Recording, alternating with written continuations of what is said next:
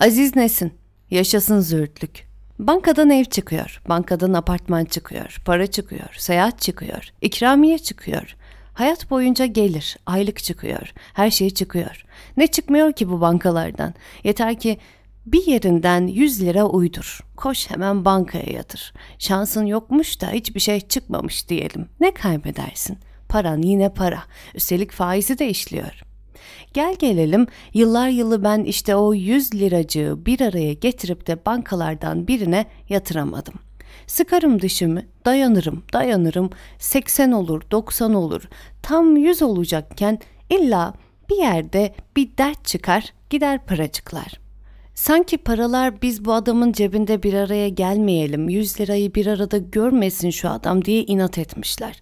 Onlar inat etti, ben inat ettim. Sonunda o 100 adet Türk lirasını bir araya getirebildim. Yine elimden gider korkusuyla hemen götürüp yatıracaktım bankaya ama o akşamda geç kaldığımdan bankalar kapanmıştı.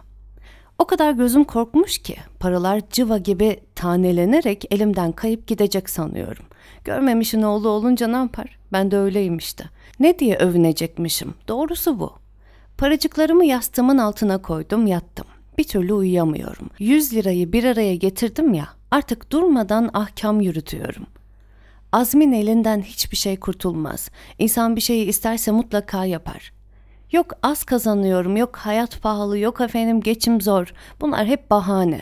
Bak nasıl 100 lirayı biriktirdim. Demek istesem 200'de 500'de biriktirebilirim. 1000 de biriktiririm 10 binde. Ondan sonra dalga geçmeye başlıyorum. 1000 10 bin oluyor, 10 bin 100 bin oluyor, 100 bin 100 milyon oluyor. Boyuna dizi dizi sıfırları hizaya sokuyorum. Sonra gecenin karanlığında onları sağdan üçer üçer ayırıp okuyorum. 100 milyon, 1 milyar, 10 milyar, 100 milyar. Evet, Azmin elinden hiçbir şey kurtulamaz. Eskiden gazetelerde milyonerlerin hayatlarını yazarlardı. Zamanımızda öyle milyonerler çıktı ki milyonlar bozuk para gibi kaldı. Ben önce milyoner oluyorum, sonra milyarder oluyorum. Daha sonra trilyoner. Dünya yüzüne şimdiye kadar trilyoner gelmiş mi? Yok.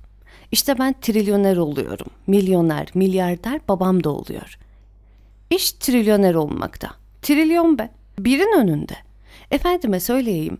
Kafamı bir türlü toplayamıyorum ki. Parmağımla karanlığa bir bir çiziyorum. Sonra yine parmağımla birin önüne sıfırları koyuyorum. 1 0, 2 0, 3 0, 5 0, 10 0, 11, 12 tam 12 tane sıfır. Ama birin önünde. Ya ikinin önünde olursa 2 trilyon. Alt tarafı sıfır. Elimi yorganın altından çıkarıp parmağımla karanlığa bir yuvarlak daha çiziyorum. Etti 300 trilyon. Sıfırlar reklam ışıkları gibi karanlıkta asılı duruyor. Bazısı kayıyor, düşüyor, kaçıyor. Yaramazları tutup yerlerine koyuyorum. Yine kaçıyorlar, yine tutuyorum.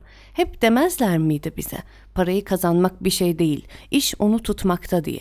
Gerçekten öyle oluyor. Sıfırları bir türlü tutamıyorum.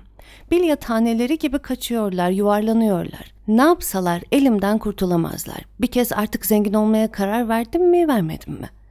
Yataktan doğrulup bir cigara içiyorum. Keyifle sıfırlarımı seyrediyorum maşallah. Hepsi de tombul tombul fıstık gibi. Genç, güzel kadınların dudaklarına, kalçalarına, omuzlarına, bellerine, göğüslerine benziyor. Zengin olmak ne de zevkmiş. Güneş doğuyor. Hemen elimi yastığın altına atıyorum. 100 liram oracıkta. Doğru bankaya koşuyorum. Daha bankalar değil, dükkanlar bile açılmamış. Bankanın kapısında bekliyorum. Bir arkadaş rastlıyor. Ne o? diyor. Ne oldu sana? Yo bir şey yok diyorum. Gözlerin kanlanmış, rengin sararmış. Bu gece uyumadım da çok işim vardı, çalıştım. Bankaya para yatırdığımı görmesin diye arkadaşımı savuyorum. Bankalar açılıyor, çekine çekine içeri giriyorum. Aman ya Rabbi ne büyük ne süslü yer. Çiçekler, vazolar, güzel güzel kadınlar, şık beyler, tavanda koca koca avizeler. Saraya girdim sandım. İçeride belki 20 memur var. Her şey gıcır gıcır. Stil mobilyalar, içime bir korku düşüyor. Demek bütün bu adamlar benim verdiğim paranın geliriyle geçinecek ha? Bu koca binalar benim paracıklarımla, bu lüks eşyalar benim paracıklarımla, hesap makineleri, daktilolar hep benim paracıklarımla. Olmaz böyle şey. Ben para vereyim, onlar yaşasın. Buyurun efendim, bir emriniz mi var? Ne kadar da nazik insanlar bu bankacılar. Bu nezaket karşısında dönüp gidemedim. Paracıklarımı verdim. Güler yüzlü memur iki dakikada işimi gördü. Banka cüzdanından başka bir de hediye cep defteri verdi. Dairede o gün arkadaşlar sen ayakta uyuyorsun diye takıldılar. Hiçbirine yüz vermedim. Öğleyin bir arkadaşım haydi lokantaya dedi. Karnım tok dedim.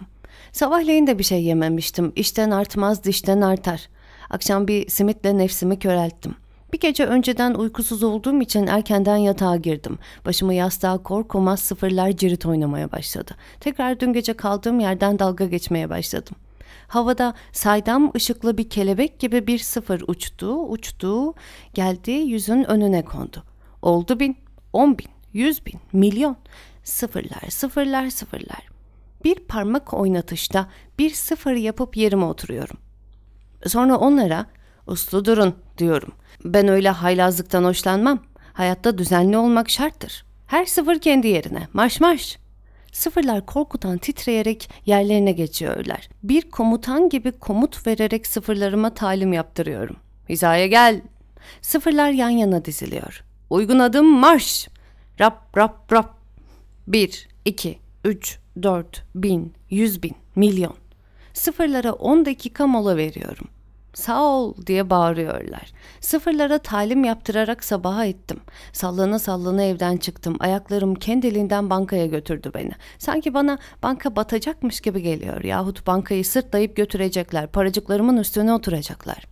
O günde peynir ekmekle akşama ettim. Uyku gözlerimden akıyordu. Erkenden yattım. Gözümü yumsam da açsam da olmuyor. Sıfırlar gecenin içinde göbek atıyorlar. Mambo oynuyorlar.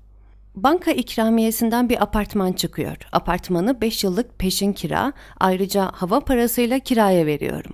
Kendim ucuz bir yerde oturuyorum. Aklıma geldi. Ben bu eve 120 lira kira veriyorum. Yazık değil mi? Hemen yarın sabah ucuz bir yere taşınmalıyım. Kenar mahallelerde 20 liraya bir oda bulurum. Ayda 100 lira bana kalır bankaya yatırırım. Yılda 1200 lira eder. 10 yılda 12 bin. 100 yılda 120 bin. Havadan para işte.'' Müsrifliğin sırası mı? Yine sabahı ettim. Bankanın önünden geçtim. Arkadaşlar eskisi gibi benimle ahbaplık etmiyorlar. Aman etmesinler. Çay kahve ısmarlamaktan kurtuldum daha iyi. Sevgilim telefon etti. Kendim için e, bugün gelmedi dedim. Oysa onunla evlenecektim. Ama şimdi vazgeçtim. Bankaya para yatırdığımdan beri onu görmek istemiyorum. Evlilik masraf kapısıdır.'' Çeki taşı asılmış gibi göz kapaklarım kapanıyor. Dosyanın üzerine başımı koyup uyumaya hazırlanırken sıfırlar varyete kızları gibi karşıma dizildi. Uyumak elimde mi? Uyku hapı almayı düşünmedim değil. Arkadaşlardan birinde varmış. Halime acıdı, verdi. Uyku hapı da etkisiz. O gece öyle zengin oldum, öyle zengin oldum ki sonra bir ara iflas etmeyeyim mi? Bütün milyarlarım elimden uçtu gitti.'' İflas eden milyonerlerin geleneğine uyup az kalsın intihar edecektim. Bankadaki 100 liram aklıma gelince intihardan vazgeçtim. Yeniden zengin oldum. Öyle zengin oldum ki dünya yüzündeki bütün paraları topladım. Kimse de metelik kalmadı. Gazeteciler gelip röportaj yapıyorlar. Nasıl zengin oldunuz? Nasıl başarı kazandınız? Doğrusunu hiç söyler miyim?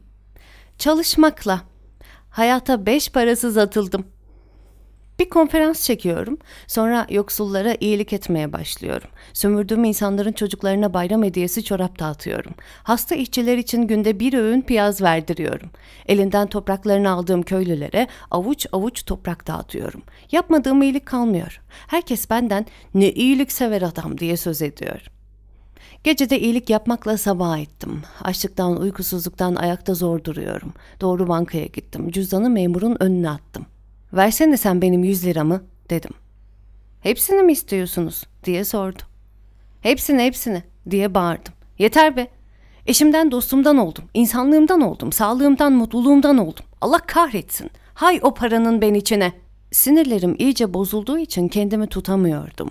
Bütün banka memurları yöremi çevirdi. Beni yatıştırmaya çalışıyorlardı. Verelim beyefendi dediler. Paramı aldım. Cebimde de 80 liram vardı. Hemen bir lokantaya koştum. Ver ondan, ver ondan, ver ondan. Oradan en lüks otele. Üç gün, üç gece uyumuşum. Oh dünya varmış be. Bütün paramı ezdim. Zenginlerin çektiklerini düşünüyorum da Kendi halime şükrediyorum. Zavallıların uykusuzluktan, açlıktan, iflas korkusundan, batmaktan, hırsız tehlikesinden neler çektiklerini ben bilirim. Yaşasın züğürtlük.